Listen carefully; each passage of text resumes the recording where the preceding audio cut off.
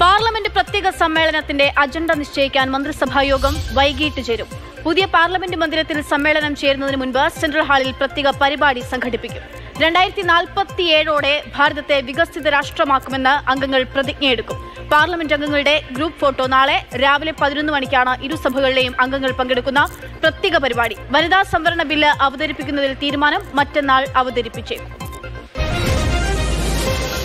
പാർലമെന്റിന്റെ ചരിത്രം ഓർമ്മിപ്പിച്ച പ്രധാനമന്ത്രി പാർലമെന്റിലെ നെഹ്റുവിന്റെയും വാജ്പേയിയുടെയും പ്രസംഗങ്ങളും നരേന്ദ്രമോദി ഓർമ്മിപ്പിച്ചു. ബംഗ്ലാദേശ് യുദ്ധവിജയം ഇന്ദിരാഗാന്ധി പ്രഖ്യാപിച്ചത് ഈ സഭയിലാണ്. ഭീകരാക്രമണവും നമ്മൾ നേരിട്ടു. അടിയന്തരാവസ്ഥയുടെ നാളുകളെയും പ്രധാനമന്ത്രി ഓർമ്മിപ്പിച്ചു.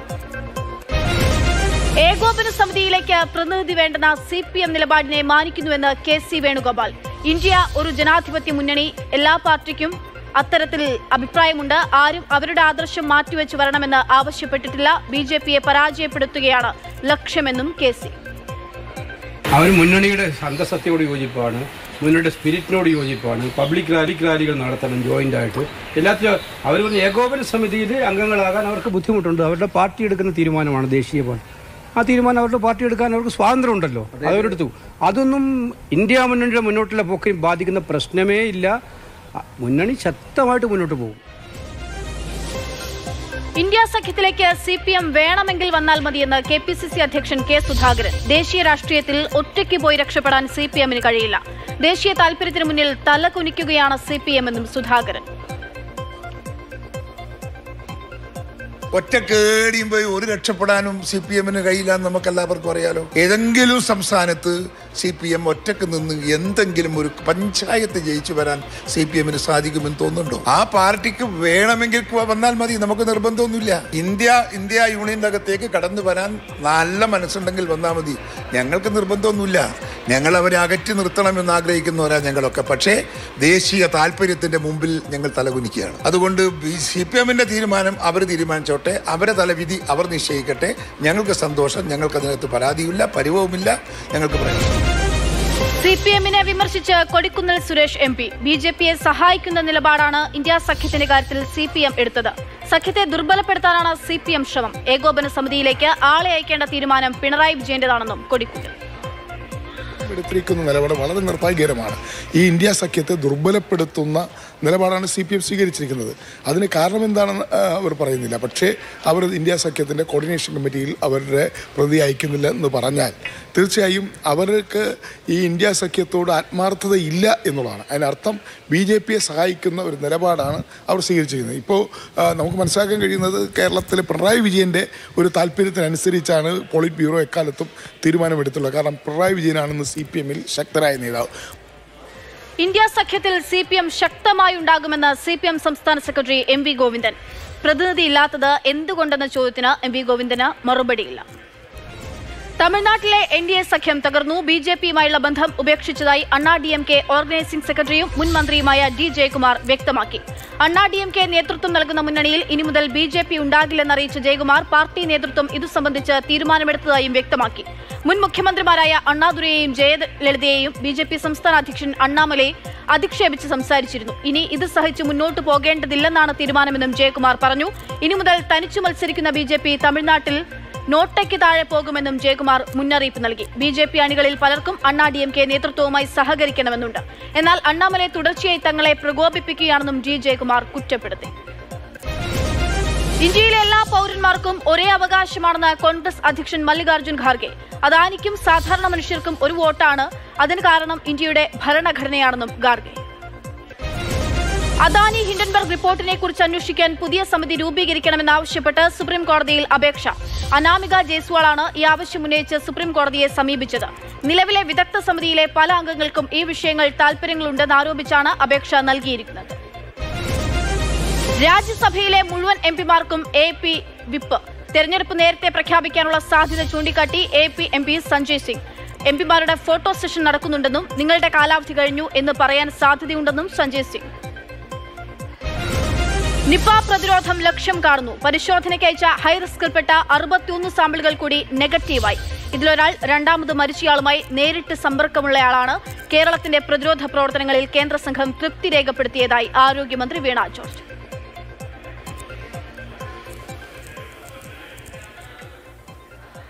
ഫലം കൂടി പുറത്തു വന്നിട്ടുണ്ട്. അറുപത്തിയൊന്ന് പേരുടെ ഫലവും നെഗറ്റീവാണ്. അതിൽ കഴിഞ്ഞ ദിവസം ഏറ്റവും ഒടുവിൽ പോസിറ്റീവായ വ്യക്തിയുടെ വ്യക്തിയെ പരിചരിച്ച ആരോഗ്യ പ്രവർത്തക ഉൾപ്പെടെ ഉൾപ്പെടുന്നുണ്ട്. അവരും നെഗറ്റീവാണ് അതുകൂടാതെ നമ്മൾ സംശയിച്ച മറ്റൊരാൾ രണ്ടാമത് പോസിറ്റീവായ വ്യക്തിയുടെ അതായത് ഹാരിസിന്റെ പതിനൊന്നാം തീയതി മരിച്ച വ്യക്തിയുടെ വളരെ വളരെ അടുത്തൊരു ക്ലോസ് കോണ്ടാക്ട് ആണ്. ആ വ്യക്തിയും നെഗറ്റീവാണ് എന്നുള്ളതാണ്. അപ്പോൾ വാസ്തവത്തിൽ അത് ഒരു നല്ല കാര്യമായി പ്രത്യേകിച്ച് ഔട്ട്ബ്രേക്കിൽ ഔട്ട് ബ്രേക്കിൽ അതൊരു നല്ല ആശ്വാസമാണ് നൽകുന്നത്. കോഴിക്കോട് മലയോര മേഖല കേന്ദ്രീകരിച്ച് തുടർച്ചയായി നിപ്പ റിപ്പോർട്ട് ചെയ്യുന്നതിനെക്കുറിച്ച് ഗൗരവത്തിലുള്ള പഠനം ആവശ്യമാണെന്ന് മന്ത്രി മുഹമ്മദ് റിയാസ്. നിപ്പ നിയന്ത്രണ വിധേയമാക്കാൻ കഴിഞ്ഞുവെങ്കിലും അമിത ആത്മവിശ്വാസം പാടില്ല. ജാഗ്രത കൈവിടരുത് വകുപ്പുകൾ ഏകോപിപ്പിച്ചുള്ള പ്രവർത്തനത്തിന് ജനങ്ങളുടെ പൂർണ പിന്തുണ ലഭിച്ചുവെന്നും മന്ത്രി മാതൃഭൂമി ന്യൂസിനോട്. ജാഗ്രത വേണമെന്നുള്ള അഭിപ്രായത്തോട് യോജിച്ച് ജാഗ്രതയോടുകൂടി ജനങ്ങൾ ഇതിനോട് സഹകരിച്ചു എന്നുള്ളതാണ് ഇതിന്റെ പ്രത്യേകത. ഒരു ടീം വർക്കാണ്. എല്ലാവരും ഒരുപോലെ നിന്നു എന്നുള്ളതാണ് ഇതിന്റെ പ്രത്യേകത. ഇപ്പോൾ നമ്മൾ കീപ്പ് ചെയ്തിട്ടുള്ള ഈ ഒരു കോൺഷ്യസ് ആയി കാര്യങ്ങൾ ചെയ്യാനുള്ള ഒരു ഇടപെടലുണ്ടല്ലോ. ആ ജാഗ്രത. ആ ജാഗ്രത തുടർന്നും ഉണ്ടായാൽ നമുക്ക് പരിപൂർണമായി ഇതിൽ നിന്നും ഇപ്പോൾ മുക്തമാകാൻ വേണ്ടി പറ്റും. വനം വകുപ്പ് മറ്റൊരു ഇടപെടൽ നടത്തിയിട്ടുണ്ട്. വനം വകുപ്പ് മൃഗസംരക്ഷണ വകുപ്പ് ആരോഗ്യ വകുപ്പ് ഇവർ ചേർന്നുകൊണ്ട് ഇതിന്റെ ചില കാര്യങ്ങൾ നടത്തുന്നുണ്ട്. എന്തായാലും അത് വളരെ ഗൗരവത്തിൽ മനസ്സിലാക്കി ഇടപെടേണ്ട പ്രശ്നം തന്നെയാണ്. ചില ചുവടുവെപ്പുകൾ വന്നിട്ടുണ്ട്. പക്ഷേ അത് ഗൗരവ സ്വഭാവത്തോടു കൂടി നമ്മൾ കണ്ടെത്തേണ്ടതുണ്ട് എന്നാണ് എനിക്ക് തോന്നുന്നത്. കരുവന്നൂർ ബാങ്കിൽ നടന്നത് അഞ്ഞൂറ് കോടിയുടെ തട്ടിപ്പെന്ന് എൻഫോഴ്സ്മെന്റ് ഡയറക്ടറേറ്റ്. പ്രതിയും രാഷ്ട്രീയക്കാരുടെ ബിനാമിയുമായ പി സതീഷ് കുമാറാണ് വൻതുകയുടെ തട്ടിപ്പ് നടത്തിയത്. തട്ടിപ്പിന്റെ മുഖ്യ സൂത്രധാരനായ തൃശൂർ സ്വദേശി അനിൽകുമാർ എട്ടു വർഷമായി ഒളിവിലാണ്. ഇയാളെ കണ്ടെത്താനുള്ള ശ്രമം പുരോഗമിക്കുകയാണെന്നും ഇ ഡി അറിയിച്ചു. അതേസമയം അന്വേഷണം മറ്റ് സഹകരണ ബാങ്കുകളിലേക്കും വ്യാപിപ്പിച്ചു. Kerala bank vice chairman M K Kannan പ്രസിഡന്റായ തൃശൂർ സഹകരണ ബാങ്കിലും അയ്യന്തോൾ സഹകരണ ബാങ്കിലും എൻഫോഴ്സ്മെന്റ് ഉദ്യോഗസ്ഥർ പരിശോധന നടത്തുകയാണ്. എറണാകുളത്ത് വ്യവസായ ദീപക് സത്യപാലിന്റെ വീട്ടിലും പരിശോധന പുരോഗമിക്കുന്നു. കരുവന്നൂർ ബാങ്കിലെ സി പി എം ഇടപെടലാണ് ബാങ്കിന്റെ ഈ അവസ്ഥയ്ക്ക് കാരണമെന്ന് ഭരണസമിതി അംഗങ്ങളായിരുന്ന അമ്പിളി മഹേഷും മിനിയും. ജില്ലാ നേതൃത്വത്തോട് പരാതിപ്പെട്ടിട്ട് പോലും ഒരു നടപടിയും ഉണ്ടായില്ല. നേതാക്കൾക്ക് സ്ഥാപിത താൽപര്യമുണ്ടായിരുന്നു. മുഖ്യമന്ത്രിയോടും മന്ത്രി ആർ ബിന്ദുവിനോടുമെല്ലാം തങ്ങളുടെ നിരപരാധിത്വം ബോധ്യപ്പെടുത്തി. പക്ഷേ എല്ലാം ഭരണസമിതിയുടെ തലയിലിട്ട് എല്ലാവരും കൈമലർത്തിയെന്നും ഇരുവരും മാതൃഭൂമി ന്യൂസിനോട് പറഞ്ഞു. നമുക്ക് യഥാർത്ഥ ഭരണസമിതിക്ക് അവിടെ ഒരു അധികാരമില്ല. കാരണം ഇത് ഞങ്ങൾ പാർട്ടിക്കാരാണ് പാർട്ടി ഭരിക്കുന്ന ബാങ്കാണ്. നിങ്ങൾ വേറെ കാര്യങ്ങളൊന്നും അന്വേഷിക്കേണ്ടതാണ് ഈ സെക്രട്ടറി അടക്കമുള്ളവർ ഞങ്ങളോട് പറഞ്ഞത്. അപ്പോൾ ഇവിടുത്തെ നേതാവ് സി കെ ചന്ദ്രനാണ് നമ്മൾ ആളുടെ അടുത്ത് പോയിട്ട് ഈ കാര്യങ്ങൾ പറഞ്ഞ് ബാങ്കിൽ പ്രശ്നങ്ങൾ നടക്കുന്നുണ്ട്. അപ്പോൾ അവിടെ ഒരു സബ് കമ്മിറ്റി രൂപീകരിക്കാം എന്ന് പറഞ്ഞ് സെക്രട്ടറി ആ സ്ഥാനത്ത് മാറ്റുകയും പിന്നീട് ഒരു സബ് കമ്മിറ്റി രൂപീകരിച്ച് കണ്ടെത്തിയപ്പോൾ ഇത് ക്രമക്കേടുണ്ടെന്ന് കണ്ടെത്തി. അപ്പോൾ പിന്നെ അപ്പോഴാണ് ഈ കാര്യങ്ങൾ ഇതൊക്കെ നമ്മൾ അറിയണത്. ഇത്രയധികം ക്രമക്കേട് ഇവിടെ നടക്കുന്നുണ്ടെന്നും ഇത്രയധികം രൂക്ഷമായിട്ട് ബാങ്ക് പോണേന്നും നമ്മൾ അറിയണത്. ശരിക്കും ഞങ്ങളെ പെടുത്താൻ വേണ്ടി മാത്രം ഉണ്ടാക്കിയ ഒരു തട്ടിക്കൂട് സംഭവമാണ് നടത്തിയത്. കരുവന്നൂർ ബാങ്ക് തട്ടിപ്പിൽ ജുഡീഷ്യൽ അന്വേഷണം നടന്നാലേ സത്യം പുറത്തുവരൂവെന്ന് മുൻ ഡയറക്ടർ മഹേഷ് കോറമ്പിൽ.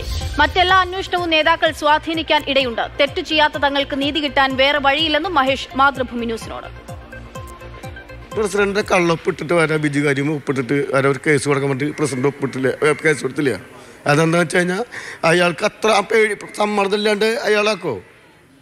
കാരണം അയാൾ പേടിച്ചിട്ട് മിണ്ടാൻ പറ്റില്ല? കരുവന്നൂർ ബാങ്ക് തട്ടിപ്പിൽ ഗൌരവതരമായ പരിശോധന നടത്തി ആവശ്യമായ നിലപാട് സ്വീകരിക്കട്ടെ എന്ന് സി പി എം സംസ്ഥാന secretary M V Govindan. Board അംഗങ്ങൾ പലതും പറയും. ഇ ഡി പല സ്ഥലത്തും പോകും. ഇ ഡി ചോദ്യം ചെയ്യാത്ത ഏത് രാഷ്ട്രീയ പ്രസ്ഥാനമുണ്ടെന്നും എം വി ഗോവിന്ദൻ. സഹകരണ ബാങ്ക് ക്രമക്കേടിൽ നിയമം നിയമത്തിന്റെ വഴിക്ക് പോകട്ടെ എന്ന് സി പി ഐ സംസ്ഥാന സെക്രട്ടറി കാനം രാജേന്ദ്രൻ. സഹകരണ മേഖലയിൽ ചില പ്രശ്നങ്ങളുണ്ട്. നിയമം കർശനമാക്കിയാൽ പരിഹരിക്കാൻ കഴിയുമെന്നും കാനം. സ്കൂൾ ഉച്ചഭക്ഷണ പദ്ധതിക്ക് വിഹിതം തരാൻ കേന്ദ്രം തയ്യാറാകുന്നില്ലെന്ന് മുഖ്യമന്ത്രി പിണറായി വിജയൻ. ഇത് ചൂണ്ടിക്കാണിക്കാതെ കേരളത്തെ പഴിചാരാൻ ചിലർ ശ്രമിക്കുന്നു. ഇതിൽ ചില രാഷ്ട്രീയക്കാരും ചില മാധ്യമപ്രവർത്തകരുമുണ്ടെന്നും മുഖ്യമന്ത്രി. സ്കൂൾ ഉച്ചഭക്ഷണ പരിപാടി. അതിന് കേന്ദ്രം നൽകേണ്ട വിഹിതം അത് കൃത്യമായി നൽകാൻ തയ്യാറാകുന്നില്ല. ഇതിനെക്കുറിച്ചൊന്നും പറയാതെ എങ്ങനെ കേരള സർക്കാരിനെ പഴിചേരാൻ പറ്റും എന്ന ഗവേഷണം നടത്തവരെ നമുക്ക് കേരളത്തിൽ കാണാൻ സാധിക്കും. ആ കൂട്ടത്തിൽ ചില രാഷ്ട്രീയ നേതാക്കളും ചില മാധ്യമങ്ങളും ഉൾപ്പെടുന്നു എന്നതും നമ്മുടെ അനുഭവത്തിലുള്ള കാര്യമാണ്. മുഖ്യമന്ത്രി മാധ്യമങ്ങളോട് പ്രതികരിക്കാത്തതിനെ ന്യായീകരിച്ച് സി പി ഐ സംസ്ഥാന സെക്രട്ടറി കാനം രാജേന്ദ്രൻ വിവാദങ്ങൾ ഉണ്ടാക്കേണ്ടത് കരുതിയാണ് പ്രതികരിക്കാത്തത്. മറുപടി പറയാത്തത് ദൗർബല്യമായി കാണരുത്. മറുപടി പറയാതിരിക്കാനുള്ള സ്വാതന്ത്ര്യം അദ്ദേഹത്തിനുണ്ടെന്നും കാനം രാജേന്ദ്രൻ. അനാവശ്യമായ വിവാദങ്ങൾ സൃഷ്ടിക്കാൻ ഭരണത്തിൽ ചുമതലയുള്ളവർ ശ്രമിക്കുന്നത് ശരിയല്ലോ. അതുകൊണ്ട് തന്നെ നിങ്ങൾ പറയുന്നുണ്ടെങ്കിലും അതിന് ഞങ്ങൾ മറുപടി പറയുന്നില്ല എന്നും അത് ഞങ്ങളുടെ ഒരു വീക്ക്നെസ് ആയിട്ട് കാണരുത്.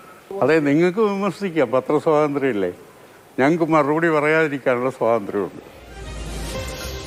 സർക്കാരിന് മുഖം ആവശ്യമില്ലെന്നും അതിനാൽ മിനുക്കേണ്ട കാര്യമില്ലെന്നും സി പി ഐ സംസ്ഥാന സെക്രട്ടറി കാനം രാജേന്ദ്രൻ. മന്ത്രിസഭാ പുനഃസംഘടന എൽ ഡി എഫ് അജണ്ടയിലില്ല.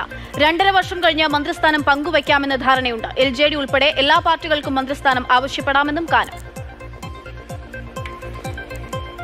അത് രണ്ടര വർഷം കഴിഞ്ഞ് കൊടുക്കാമെന്ന് നേരത്തെ ധാരണയുള്ളതാണ്.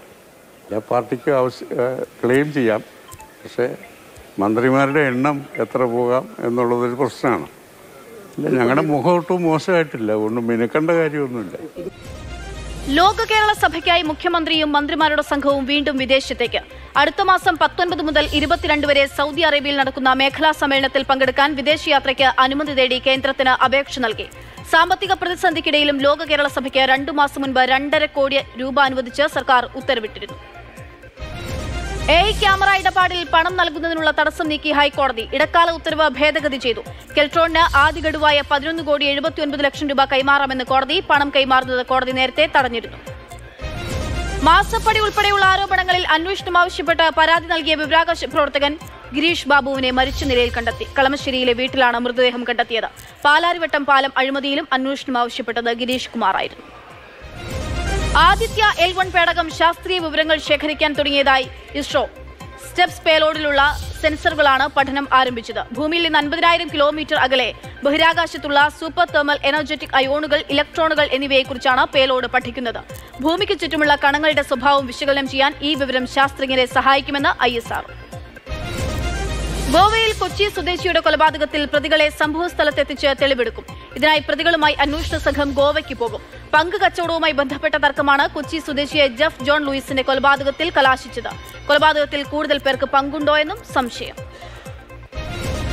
പത്തനംതിട്ട മൈലപ്രയിൽ പോലീസ് വാഹനം നിയന്ത്രണം വിട്ട് കടയ്ക്കുള്ളിലേക്ക് പാഞ്ഞുകയറി വാഹനം ഓടിച്ചിരുന്ന കാഞ്ഞിരപ്പള്ളി ഡിവൈഎസ്പി മദ്യപിച്ചിരുന്നതായി സംശയമുണ്ടെന്നും വാഹനം അമിത വേഗത്തിലായിരുന്നുവെന്നും ദൃക്സാക്ഷി. പത്തനംതിട്ടയിൽ കുരുതിക്കളമായി എം സി റോഡ് ജില്ലാ പരിധിയിൽ ആറിടങ്ങൾ ബ്ലാക്ക് സ്പോട്ടുകൾ. അഞ്ചര വർഷത്തിനിടെ ഇവിടെ റോഡ് അപകടങ്ങളിൽ കൊല്ലപ്പെട്ടത് നൂറ്റി അൻപതിൽ അധികം പേർ. താമരശ്ശേരി ചുരത്തിൽ പാഴ്സൽ ലോറി കൊക്കയിലേക്ക് മറിഞ്ഞു. ചുരം ഒൻപതാം അളവിൽ ഇന്നലെ രാത്രി പതിനൊന്ന് മണിയോടെയായിരുന്നു അപകടം. ബംഗളൂരുവിൽ നിന്നും കോഴിക്കോട്ടേക്ക് പോവുകയായിരുന്ന ലോറിയാണ് അപകടത്തിൽപ്പെട്ടത്. നിയന്ത്രണം വിട്ട ലോറി സംരക്ഷണ ഭിത്തി മറികടന്ന് മരത്തിൽ ഇടിച്ച് കൊക്കയിലേക്ക് മറിയുകയായിരുന്നു. കർണാടക സ്വദേശികളായ രണ്ടുപേരാണ് ലോറിയിലുണ്ടായിരുന്നത്. ഇവർ നിസാര പരിക്കോടെ രക്ഷപ്പെട്ടു. താമരശ്ശേരി ചുരത്തിൽ ഇന്നോവ കാർ സംരക്ഷണ ഭിത്തിക്ക് മുകളിലേക്ക് പാഞ്ഞുകയറി ചുരം എട്ടാം അളവിന് മുകളിൽ തകരപ്പാടിക്ക് സമീപം രാത്രി എട്ട് മണിയോടെയായിരുന്നു സംഭവം. കാർ സംരക്ഷണ ഭിത്തിയിൽ കുടുങ്ങി നിന്നതിനാൽ കൊക്കയിലേക്ക് പതിക്കാതെ വൻ ദുരന്തം ഒഴിവായി. മരണത്തുരുത്തായി തിരുവനന്തപുരത്തെ തിരുവല്ലം ജംഗ്ഷൻ വൺവേ തെറ്റിച്ചെത്തുന്ന വാഹനങ്ങളാണ് അപകടം ക്ഷണിച്ചു വരുത്തുന്നത്. ട്രാഫിക് സംവിധാനങ്ങളിലെ ആശയക്കുഴപ്പവും അശാസ്ത്രീയമായി സ്ഥാപിച്ച മുന്നറിയിപ്പ് ബോർഡുകളും അപകട കാരണമാകുന്നു. അപകടങ്ങൾ തുടർക്കഥയാകുന്ന ഇടങ്ങളിൽ മുൻപന്തിയിൽ എറണാകുളം ജില്ല. ജില്ലയിൽ അൻപത്തിയെട്ട് ബ്ലാക്ക് സ്പോട്ടുകൾ. അശാസ്ത്രീയമായി യു ടേണുകൾ പ്രധാന വില്ലന്മാർ. തിരുവനന്തപുരം കാട്ടാക്കടയിൽ റബ്ബർ പുകപ്പുരയ്ക്ക് തീപിടിച്ചു. രണ്ട് ലക്ഷത്തോളം രൂപയുടെ ഷീറ്റുകൾ കത്തിനശിച്ചു. ഫയർഫോഴ്സ് എത്തിയാണ് തീയണച്ചത്. അബ്ദുൽ ഹക്കീം എന്നയാളുടെ റബ്ബർ ഷീറ്റുകളാണ് കത്തിനശിച്ചത്. കനത്ത മഴയെ തുടർന്ന് കനാലിന് മുകളിലെ പാലം തകർന്ന് വീടിന് പുറത്തിറങ്ങാനാകാതെ കുടുംബം. തിരുവനന്തപുരം പാറശാല സ്വദേശിയും ഭിന്നശേഷിക്കാരനുമായ ബിബിനും കുടുംബത്തിനുമാണ് പാലം തകർന്നതോടെ സഞ്ചാര സ്വാതന്ത്ര്യം ഇല്ലാതായത്. കൊല്ലം പുനലൂരിലെ കേച്ചേരി ചിട്ടി കമ്പനി പൂട്ടിയതുമായി ബന്ധപ്പെട്ട് നിക്ഷേപകരുടെ സമരം. പണം തിരികെ കിട്ടാൻ K B Ganesh Kumar M L A ഇടപെടണമെന്നാവശ്യപ്പെട്ട് M L A ഓഫീസിലേക്ക് മാർച്ച് നടത്തി. ബാങ്ക് തകരാൻ കാരണം K B Ganesh Kumar M L A ആണെന്നാണ് ആരോപണം. ചിട്ടി തട്ടിപ്പിനെക്കുറിച്ചുള്ള ഇഡിയുടെയും ക്രൈംബ്രാഞ്ചിന്റെയും അന്വേഷണം മന്ദഗതിയിലാണെന്നും പണം നഷ്ടപ്പെട്ടവർ ആരോപിക്കുന്നു. കുവൈറ്റ് മാലിയയിൽ സ്വകാര്യ ക്ലിനിക്കിലെ സുരക്ഷാ പരിശോധനയിൽ പത്തൊൻപത് മലയാളി നഴ്സുമാർ പിടിയിലായതായി വിവരം. മാനവശേഷി സമിതി നടത്തിയ സുരക്ഷാ പരിശോധനയിൽ ആകെ അറുപത് പേരെയാണ് പിടികൂടിയത്. പിടിയിലായവരിൽ മുപ്പത് ഇന്ത്യക്കാരുണ്ട്. ഇവരെ നാട്ടിലേക്ക് തിരിച്ചയക്കാനായി നാടുകടത്തൽ കേന്ദ്രത്തിലേക്ക് മാറ്റിയിരിക്കുകയാണ്. വിസ അടക്കം എല്ലാ രേഖകളും ഉണ്ടെന്നും ആശുപത്രിയുടെ ഉടമയും സ്പോൺസറും തമ്മിലുള്ള തർക്കമാണ് യഥാർത്ഥ പ്രശ്നമെന്നും പിടിയിലായവരുടെ ബന്ധുക്കൾ പറഞ്ഞു. കുവൈറ്റ് മാലിയയിൽ സ്വകാര്യ ക്ലിനിക്കിലെ സുരക്ഷാ പരിശോധനയിൽ പിടിയിലായ മലയാളി നഴ്സുമാരെ മോചിപ്പിക്കാനുള്ള ശ്രമം വിദേശകാര്യ മന്ത്രാലയം നടത്തിവരികയാണെന്ന് വിദേശകാര്യ സഹമന്ത്രി വി മുരളീധരൻ. കുവൈറ്റിലെ ബാന്ദ്ര ക്ലിനിക്കിന് ആശുപത്രിയായി പ്രവർത്തിക്കാൻ അനുമതിയില്ല. എല്ലാ സഹായവും ചെയ്യാൻ എംബസിക്ക് നിർദ്ദേശം നൽകിയിട്ടുണ്ടെന്നും വി മുരളീധരൻ പറഞ്ഞു.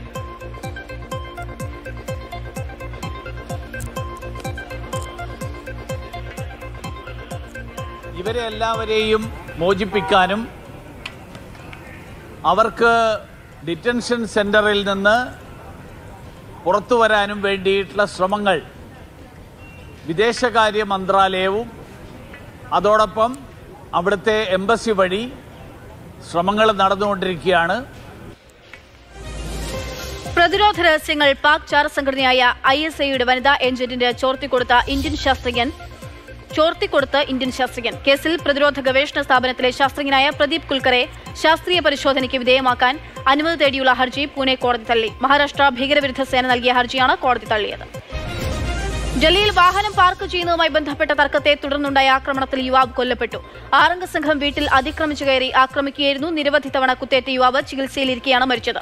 കേസുമായി ബന്ധപ്പെട്ട നാല് പേരെ പോലീസ് പിടികൂടി. മറ്റു രണ്ടു പേർക്കായി അന്വേഷണം തുടരുകയാണ്. ഉത്തര Korean president Kim Jong Un Russian സന്ദർശനം കഴിഞ്ഞ് മടങ്ങി. പ്രത്യേക സുരക്ഷാ സജ്ജീകരണങ്ങൾ ഒരുക്കിയ ആഡംബര ട്രെയിനിലാണ് ചൊവ്വാഴ്ചയാണ് റഷ്യയിലെത്തിയത്.